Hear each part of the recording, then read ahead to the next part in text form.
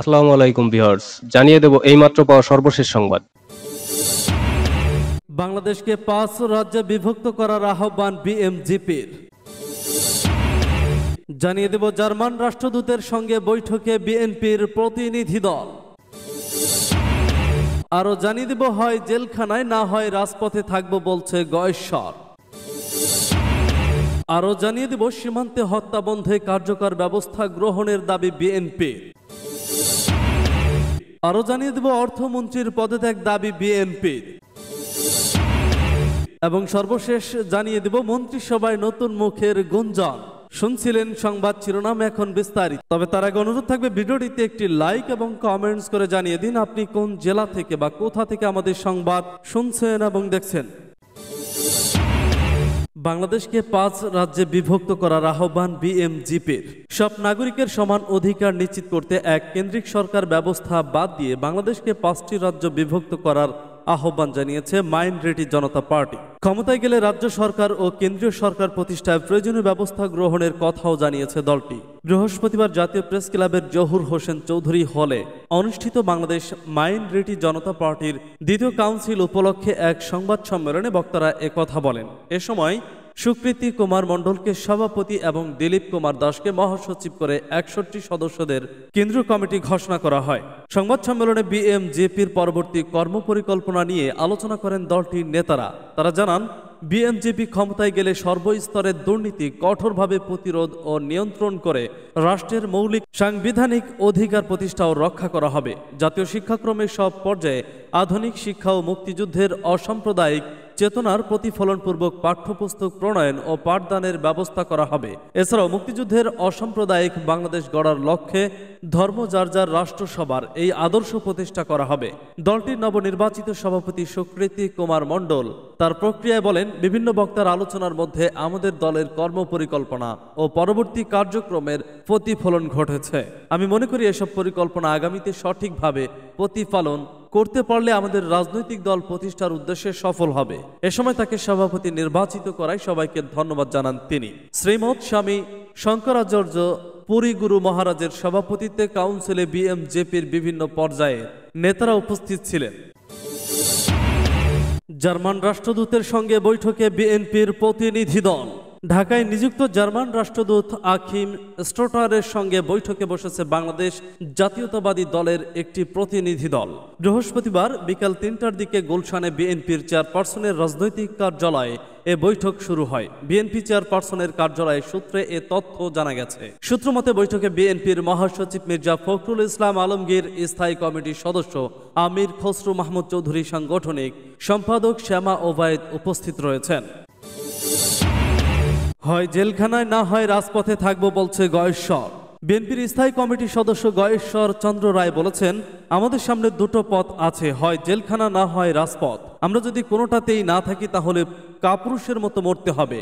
যে মৃত্যু ইতিহাসের পাতায় কোনো সম্মান পাবে না। বৃহস্পতিবার জাতীয় প্রেস ক্লাবের আব্দুল সালাম হলে সম্মিলিত ছাত্র যুব ফোরাম আয়োজিত এক আলোচনা সভায় তিনি কথা বলেন। বিএনপি চেয়ারপারসন খালেদা জিয়া ও ঢাকা মহানগর দক্ষিণ বিএনপির সদস্য সচিব রফিকুল আলম মজনুর মুক্তির দাবিতে এ আলোচনা সভার আয়োজন করা হয়। গয়েশ্বর বলেন, যারা রাজনীতি করে তারা জেলখানায় গেলে সম্মান নষ্ট হয় না। কেউ কেউ বলেন, আমরা ভালো থাকতে চাই। ভালো যদি থাকতেই পারতাম, তাহলে প্রতিদিন মিটিং মিছিল করতাম না। এদেশে ভালো থাকার উপায় নেই। একটা ফ্যাসিবাদী সরকার অস্ত্রের জোরে মসনদে বসে আছে, তাদের কাছ থেকে ভালো কিছু আশা করা যায় না। আওয়ামী লীগ বাংলাদেশের দল না মন্তব্য করে তিনি বলেন, আমাদের পার্শ্ববর্তী দেশে গণতন্ত্র আছে। গণতান্ত্রিক দেশ হিসেবে তারা বৃহত্তম দেশ। কিন্তু বাংলাদেশে গণতন্ত্র থাকুক, সেটা তারা চায় না। কয়েকদিন দেখা যায় বিজেপির নেতা সে দেশে, ভারতের হাই কমিশনার তো প্রায়ই আওয়ামী লীগের নেতাদের সঙ্গে বসেন। মানে একজন হাই কমিশনারের কাজ হচ্ছে সরকারের সঙ্গে বৈঠক করা। আওয়ামী লীগের সঙ্গে তারা ডিনার করেন। কিন্তু অন্য দলের সঙ্গে তাদের কথা বলতেও দেখা যায় না। তার মানে বোঝা যায় আওয়ামী লীগ দেশের দল নয়। তা না হলে তাদের সাংগঠনিক তৎপরতার জন্য পাশের দেশ থেকে নেতা এসে কর্মী সভা করে কেন? অন্য কোনো রাজনৈতিক দলের সঙ্গে তো তারা সৌজন্য সাক্ষাৎ করে না। খালেদা জিয়া অসুস্থ আছে অনেক দিন ধরে। দেখেছেন, প্রতিবেশী দেশের রাষ্ট্রদূত এসে সৌজন্য সাক্ষাৎ করে গেছেন তার সঙ্গে। আওয়ামী লীগের উদ্দেশ্য গয়েশ্বর বলেন, তারা শুধু দেশটাকে শেষ করছে না, তারা দেশের সবকিছু শেষ করে ফেলেছে। মানুষের যে অধিকার, সেটা তারা বিশ্বাস বিশ্বাসই করে না, বরং মানুষের অধিকার হরণ করেছে। আওয়ামী লীগের উদ্দেশ্য জনগণ নয়, জনগণের টাকা লুটপাট করা সেই সম্পদ সামাল দিতে পারছে না বলেই বিদেশে পাচার করছে। আয়োজক সংগঠনের আহ্বায়ক অ্যাডভোকেট নাহিদুল ইসলাম নাহিদের সভাপতিত্বে সবাই আরও বক্তব্য দেন। ঢাকা মহানগর দক্ষিণ বিএনপির আহ্বায়ক আব্দুল সালাম স্বেচ্ছাসেবক দলের সাধারণ সম্পাদক আব্দুল কাদের ভুইয়া জুয়েল প্রমুখ। সীমান্তে হত্যা বন্ধে কার্যকর ব্যবস্থা গ্রহণের দাবি বিএনপির। সীমান্তে বাংলাদেশি নাগরিক হত্যা বন্ধে ভারত সরকারের কাছে প্রতিবাদ ও কার্যকর ব্যবস্থা গ্রহণের দাবি জানিয়েছে বিএনপি। দলের সর্বোচ্চ নীতি নির্ধারণী ফোরাম, জাতীয় স্থায়ী কমিটির সভায় এ সিদ্ধান্ত নেওয়া হয়। বৃহস্পতিবার গণমাধ্যমে পাঠানো এক প্রেস বিজ্ঞপ্তিতে দলটির মহাসচিব মির্জা ফখরুল ইসলাম আলমগীর একথা জানান।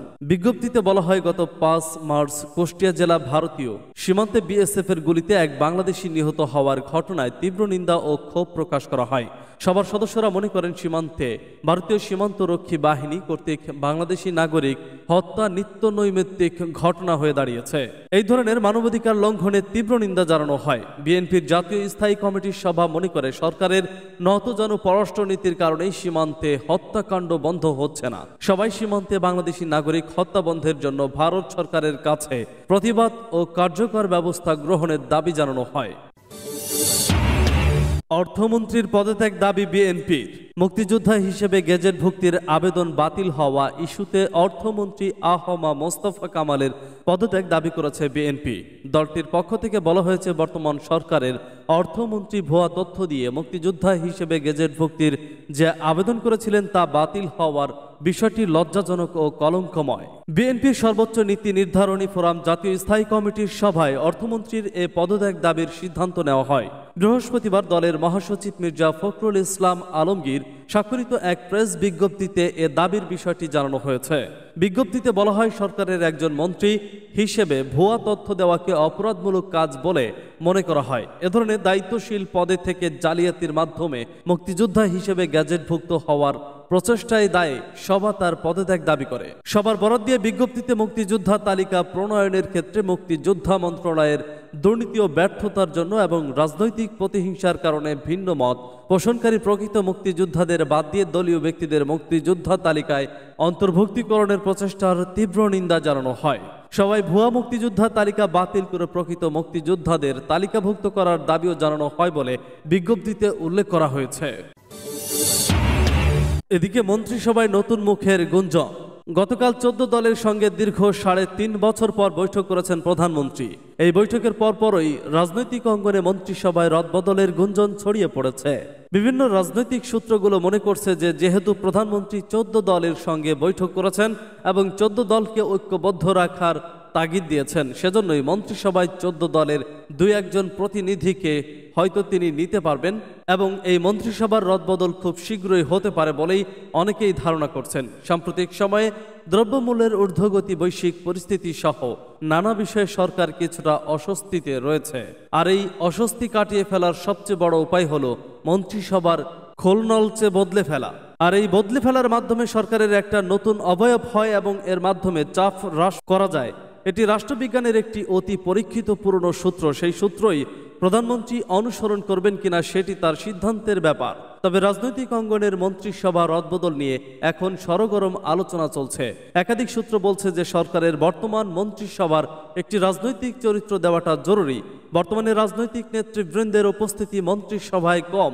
এমনকি দুই হাজার নয় সালে যখন আওয়ামী লীগ আনকোরা নতুনদের দিয়ে মন্ত্রিসভা গঠন করেছিল, তখনও বেগম মতিয়া চৌধুরী, আবুল মাল আব্দুল মহিদ নুরুল ইসলাম নাহিদদের মতো রাজনৈতিক ব্যক্তিরা মন্ত্রিসভায় ছিলেন। কিন্তু এবার সেটি নেই বললেই চলে। কেন্দ্রীয় নেতাদের মধ্যে শুধুমাত্র ডক্টর আব্দুর রাজ্জাক, ওবায়দুল কাদের, ডক্টর হাসান মাহমুদ এবং ডক্টর দীপুমণি মন্ত্রিসভায় অন্তর্ভুক্ত রয়েছেন। এখন মন্ত্রিসভায় আরও রাজনৈতিক প্রতিনিধিদের বাড়ানোর বিষয়টি চিন্তা ভাবনা চলছে বলে বিভিন্ন সূত্র বলছেন। তবে এটি একান্তই প্রধানমন্ত্রীর ব্যক্তিগত অভিপ্রায়ের ব্যাপার। তবে রাজনৈতিক পাড়ার গুঞ্জনে যে নামগুলো উঠে আসছে, যারা মন্ত্রিসভায় আসতে পারেন তাদের মধ্যে রয়েছেন জাহাঙ্গীর কবির নানক দুই হাজার আঠারো সালে আওয়ামী লীগ থেকে মনোনয়ন পাননি, কিন্তু মনোনয়ন না পাওয়াটা যেন তার জন্য সাফে বর হয়েছে।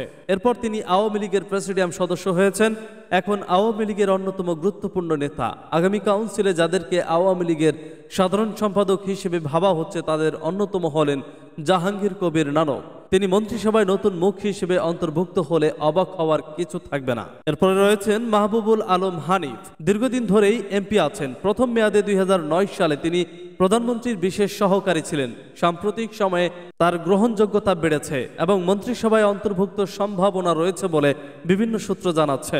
মির্জা আজম আওয়ামী লীগের জনপ্রিয় নেতা মন্ত্রী সভায় তার অন্তর্ভুক্তির কথা সবসময় গুঞ্জন হিসেবে থাকে। তিনি দুই হাজার চোদ্দ সালে প্রতিমন্ত্রীর দায়িত্ব পালন করেছিলেন। তবে এখন তার নামটা আসছে এই কারণে যে জামালপুরের ডাক্তার মোরাদ হাসানকে মন্ত্রিসভা থেকে অব্যাহতি দেওয়ার ফলে মির্জা আজম এখানে মন্ত্রী হিসেবে আসতে পারেন বলে অনেকেই মনে করছেন। আওয়ামী লীগের ছাড়া এবার মন্ত্রিসভায় যদি শেষ পর্যন্ত রদবদল হয়, তাহলে চোদ্দ দলের কারও কারও অন্তর্ভুক্তির সম্ভাবনা রয়েছে। আর প্রধানমন্ত্রী যেভাবে ঘুরিয়ে বিভিন্ন ব্যক্তিকে মন্ত্রী করার নীতি গ্রহণ করেছেন, গত তিন মেয়াদে সেই বিবেচনায় সবচেয়ে বেশি আলোচনায় আছেন ওয়ার্কার্স পার্টির ফজলে হোসেন বাদশাহ। তিনি রাজশাহী অঞ্চল থেকে নির্বাচিত এমপি এবং ওয়ার্কার্স পার্টি রাশেদ খান মেননের পর দ্বিতীয় গুরুত্বপূর্ণ ব্যক্তি হিসেবে পরিচিত।